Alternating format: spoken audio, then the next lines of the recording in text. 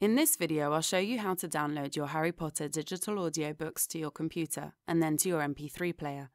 We start off on the Pottermore Shop homepage and navigate to a product page where you can buy your Harry Potter digital audiobook for yourself or as a gift. Here you can also listen to or download samples of this digital audiobook to make sure that they work on your computer and device. Now I'll move to the My Books page. This is where you'll find your digital audiobooks once you've purchased them and is the first step towards listening to them.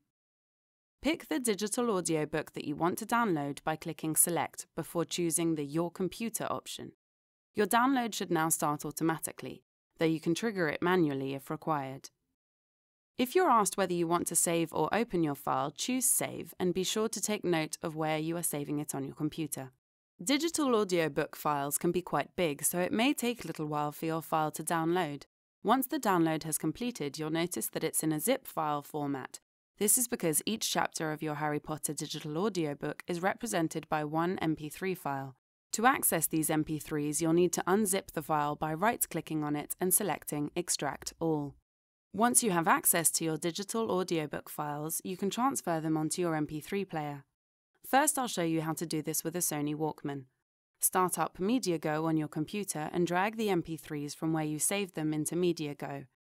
Once this import has been completed, you can simply plug your Sony Walkman into your computer and drag the files onto the device within MediaGo.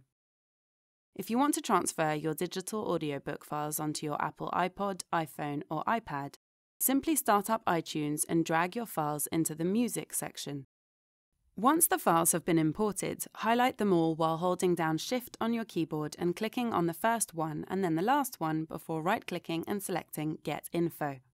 Click on the tab entitled Options and make sure that Media Kind is set to Audiobook and that the Remember Position and Skip When Shuffling options are ticked.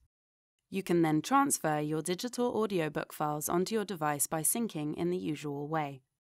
If you have a different brand of MP3 player, please follow the manufacturer's guidelines on how to transfer music onto your device.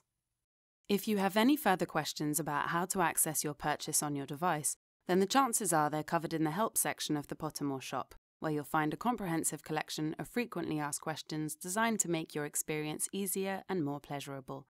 I hope you found this video useful and thanks for your interest in the Pottermore shop, the only place where you can buy the official ebook and digital audiobook versions of the Harry Potter novels.